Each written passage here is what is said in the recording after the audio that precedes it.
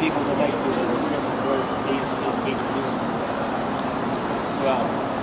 Um, I have many words to say that I've prepared. Um, to begin with, the, the, the greatest tribute to, to Mom, Bubby, is are the people here. Children and children. Are, kind of family, Hashem, she has created. Um, Mom was born November 12, 1912, in Cleveland, Ohio. And she grew up in an era when being frum was not the end thing in Cleveland or in the United States in general. There were no Jewish schools, day schools to go to to learn in. Nevertheless, her parents, Janie Yitzchak and Baba Sarah, very strong, were very strong in instilling in their children a love for all aspects of Yiddishkeit. Their home was open to all Jews. Many Gedolim, many other Jews from Europe and other places stayed at the Feigenbaum home. Mom learned what it meant to care for other Jews. She learned the true meaning of Hachnosas Orchim. Course, the ultimate, the ultimate sacrifice, actually giving their home to the Telzer Yeshiva. Her home was one of learning, living, of singing, Smiros, Salashudas, Malka, all the very various aspects. And it was all done with a tremendous, tremendous love and great spirit. She had private Torah learning, as did her seven brothers. And even as a young woman, she shared her learning with other with other students, younger students. She was also artistically gifted, would have liked to go to learn design in the school, she had said many times. The times were difficult. The family couldn't afford it. But we always enjoyed mom's art, doodling, who everyone could attest to her beautiful handwriting. In fact, my bar mitzvah invitation was written by mom and printed by dad. Mom married, I believe in 1936. Together they built a Bais Nimam Yisrael, dedicated to serving Hashem, both Bein Adam LaMokom and Bein Adam LaChavera, instilling in their children a love for Torah and mitzvahs, involving themselves in the needs of Klal Yisrael. Mom was involved in so many different causes. Torah Sora, Young Israel, Hapoel Mizrahi, Shiva Das, many more. She was the only woman to sit on the Varachinu, the Hebrew Academy of Cleveland. Today we take it for granted that there are yeshivas, mikvahs, so many other organizations. We don't realize they wouldn't have come about without the tremendous effort which people such as mom and dad put forth in order to establish these things. We must show our Akaras to these people. Mom was a tireless worker, giving totally of herself to these organizations and causes, many in leadership roles. As young children, we didn't always appreciate seeing our mother leave at night to attend meetings. We realized that it must have been important in order for mom to leave her children. Mom gave her total support to dad. She took care of all his needs, whether at home, his work as a gabbai, and his printing shop. They lived a modest life. But they knew where their prior priorities stood. Mom was a giving person, not only to her own children, but to so many others as well. There was a needy girl who lived in our, home, in our house in order to be able to attend the yeshiva. There was a Russian family who lived in her home leaving the Soviet Union because they had no other place to live. Later on in life, she was visited each Shabbos by a number of young women from one of the schools. She became their bubby. She was sharp, intelligent, and witty, and she never complained. And she truly showed a concern for each one of them.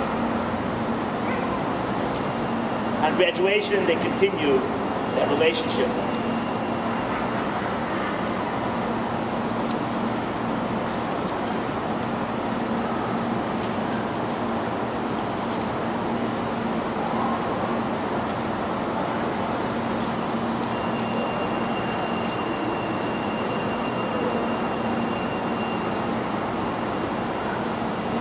She got older, and her faith remained strong in HaKadosh Baruch Hu, her mind remained clear till the end. And people recognized that, and they realized who she was. They came for, to her for brachos, for advice. She would share jokes also with people. You just pointed out, she, now towards the end of her life, she really was someone who appreciated a joke. This week, this last week before she passed away, I asked her how she was feeling. She answered with her hands. And uh, pointed out also, she had asked her how she's feeling. She says, well, I'm doing Baruch Hashem all right, but I'm, I'm not up to you to doing, uh, you know, back back spins and hand, you know, like, like Leah does. But Baruch Hashem, everything's good. And we all remember, Mom, there's so many different things come to mind. There, coffee, crossword puzzles, Scrabble, Dad. I always- remember when I was a little boy, she was baking. I always would hope that there would be some batter left over in the bowl, so I'd be able to scrape it. I remember she made blintzes. She didn't buy frozen blintzes. She made blintzes by hand. Just to hope that she didn't have enough filling to fill all the, the what? That's love. So that I was, so she would give me at the end one of the blintzes to eat by itself. Memories. Very fun. Fond thoughts. And our home was very a happy home, Baruch Hashem, a lot of singing as we mentioned. Simchas Torah, the family was, was, was, so important to her. Had Simchas Torah gatherings. We were very happy in Lebedik. We had Feigenbaum family meetings because Zadie, my Zadie, used to- said that the family should continue to get together. Importance of family, Feigenbaum family club. We had picnics together. I would call mom on Erev Shabbos. She would ask if we're ready for Shabbos. And I would say, we're getting there.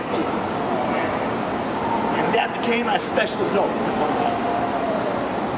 Mom would always ask, are you getting there? Again, before I left on Thursday, I said, she said, good Shabbos, and I said, we're getting there.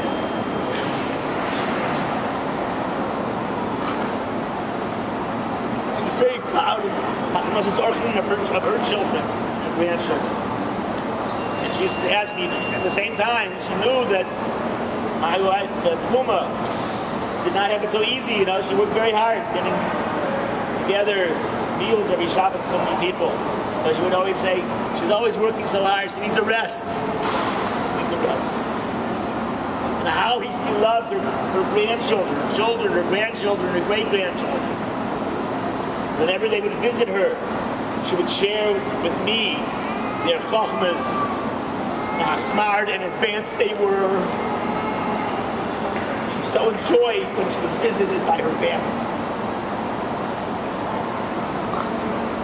She always wanted them to stay longer. When I wished her a Fush Lema, she thanked me and then she wished me a, wished a Fush Lema for everyone in the world. She always said good Shabbos. So some say, well, she said good Shabbos because she was used to talking to me mostly on Friday and she'd always say good Shabbos. She, any day of the week now she said good Shabbos. I think she said good Shabbos not only because of that, but because Shabbos, Shabbos to her was Me'in Olam Haba. That's how she lived her life. It was real. I talked it over with Naftali many times. How they, how they in those days. They may have not had the same education we had. we had, and that maybe not, we they didn't, we didn't have all the opportunities that we had, but it was real. It was Emes, and Emes kind Yiddishkeit. That she and Dad had, and she gave it over to her, her to her kasha. This week, of course, we know we're in the middle of the nine days, and uh, I think it's very significant that Mom passed away during the nine days. Course, we, we, we're mourning for the Mesa Mikdash. Chazal tell us that when a great person passes away, it's like the destruction. It's like the, the destruction of the Mesa Mikdash. Because their life is the epitome of what Mesa Mikdash is. Mesa Mikdash is a place where people get together to serve HaKadosh Baruch Hu, to understand what it means to be close with Hashem. And that's what a person like, Mom, Bubby, was able to do in her presence, you, you knew there was something different there. There was HaKadosh Baruch Hu was present in your presence with her. It wasn't just a regular plain person. I could go on and on. Going to conclude that uh,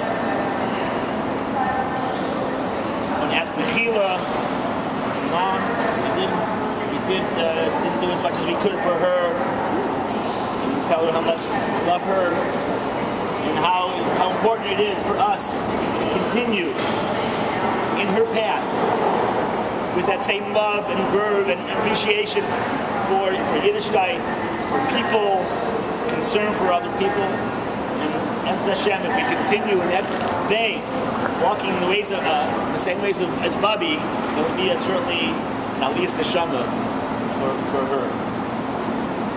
English Master Tzrunas Rechayim. Lacha Dima. Mashbaruch, wipe away tears.